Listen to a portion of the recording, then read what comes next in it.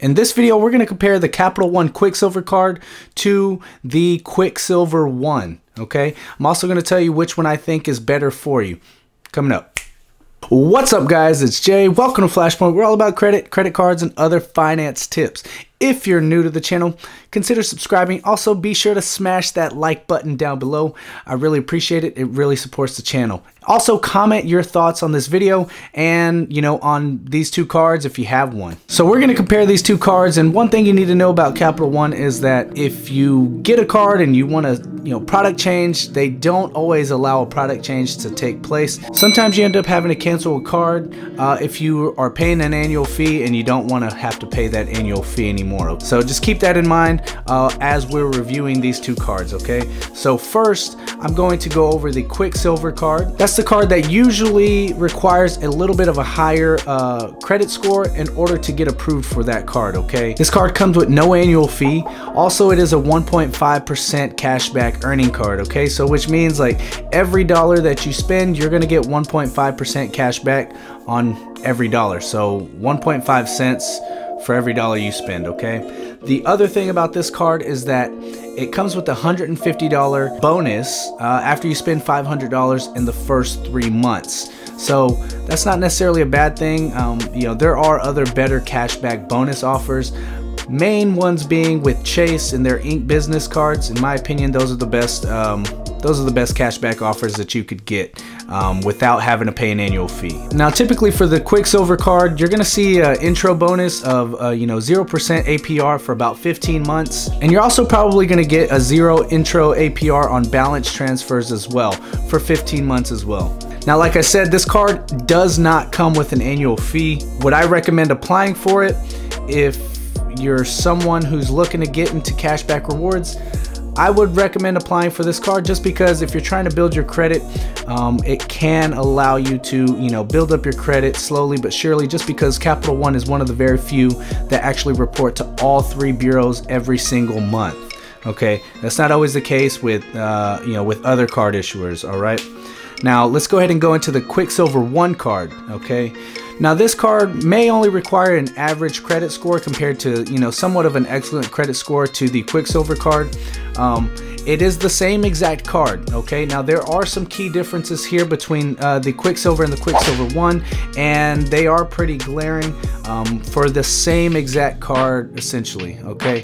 So you're not gonna get an uh, intro bonus of $150, so basically you get no bonus welcome offer, okay? You're also not gonna get that uh, intro bonus on balance transfers. So if you're trying to pay down some credit card debt from a different card and you're trying to avoid having to pay that interest, you're not gonna be able to transfer that balance from that card over to this one with no uh, interest basically. So most times it's gonna you're gonna be looking at about 26.9% interest on balance transfers and on your purchases. So um, that's not necessarily a great thing to be quite honest in my opinion. Um, you know that it that may vary just depending on your credit worthiness as well.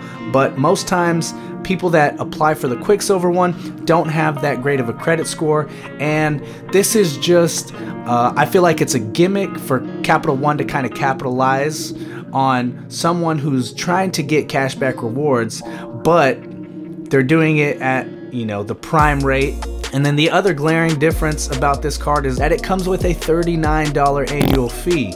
And if you're watching this video and you're trying to figure out which card you want to apply for, I honestly would not apply for the Quicksilver 1 card just because, my opinion, this card is not worth the $39 annual fee that it comes with, okay? Just because you get no bonus for the first year, basically you get no bonus at all. You get no balance transfer intro bonus and you get no zero APR, uh, you know, intro offer for the first 15 months that you make purchases. So that's not great, right? It's essentially, it's the same card, but just because you have a lower credit score, they're gonna ask you to pay a $39 annual fee for the same exact card with no bonus. And I just think that's ridiculous. So um, if you're someone who doesn't have a great credit score, I would avoid applying for this card in particular for the $39 annual fee card, which is the Capital One Quicksilver 1 card. I would avoid applying for that. The route, if I were you, um, I would take, I would go with the Capital One uh, Platinum MasterCard that has no annual fee. I would just, you know, use that card as much as you possibly can. Pay the card off every single month. Don't hold any balances on it because you don't want to pay any interest to the credit card companies. Um, and then uh, honestly, what's going to end up happening is Capital One is going to send you an offer to upgrade your card to the Capital One Quicksilver card, the no annual fee version. And I would just go ahead and upgrade to that after a couple of years. Basically, that's what happened to me. I stopped using my uh, Capital One Platinum card. That was like my first card that I ever got. And um, once I stopped using it, they started trying to, you know, invite me to upgrade my card. So I took them up on that offer. Um, and I started using it. I was able to get a couple things from Amazon for free, but other than that, I'm not really using it anymore.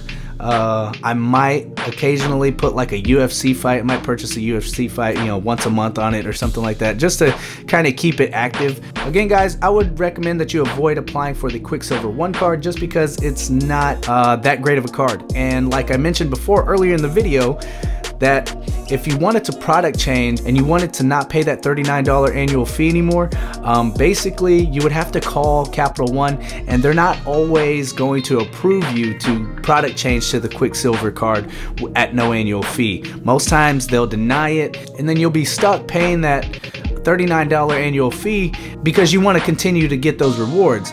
Now, this forces a lot of people to actually have to cancel the card and apply for for the Quicksilver card, which again, I still don't recommend that. Um, if you're going to completely cancel the card just because you don't want to pay the annual fee, I would actually call Capital One and tell them that you're considering, you know, uh, canceling the card because you no longer want to pay that annual fee. Most times they want to keep your business, so um, that would be the route to go kind of threaten them that you're gonna you know cancel the card.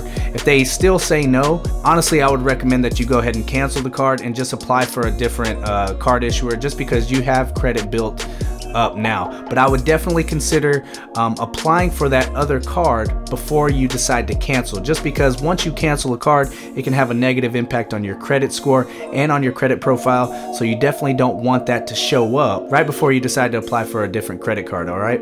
Now, again, guys, apply for the Quicksilver card, not the Quicksilver 1 card, okay? I'm gonna put both of them right here. You wanna apply for this one, do not apply for this one right here, okay? Now guys, if you wanna apply for any card, don't forget to use the links down below. It's really gonna support the channel.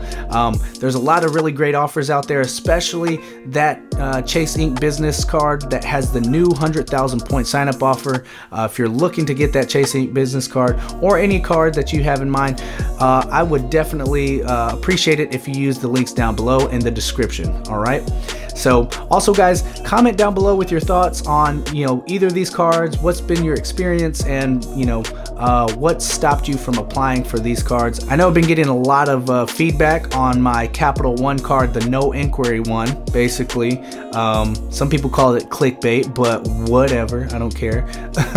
Anyways, uh, yeah, so let me know your thoughts right here and what's stopping you. You know, uh, do you know the difference between the two cards? Honestly, I would not go with you know the quicksilver one card just because it's not worth that $39 annual fee. And then there's also no guarantee that uh, capital one is going to allow you to product change out of that annual fee because you know that's just making the money. They want to keep making money off of you. So they'll deny it. More than likely they've denied me for things and i have I have extremely good credit. So uh, that just tells you how Capital One is, all right? Um, yeah, and that's to conclude today's video, guys. For more video updates, hit that subscribe button. If you found this information to be helpful, give this video a thumbs up. Also, don't forget to share it with your friends and drop a comment down below, like I said, letting me know uh, what you guys think of these two cards. All right, which one would you get, or which one have you been tricked into getting? Let me know. All right, don't forget to hit that bell notification down on that bottom your right, my left, so right here, uh, so that way you guys can stay up to date for whenever I drop my next video. All right, be a good person, be safe, be smart, and remember, credit is your life, and I will see you guys in the next one.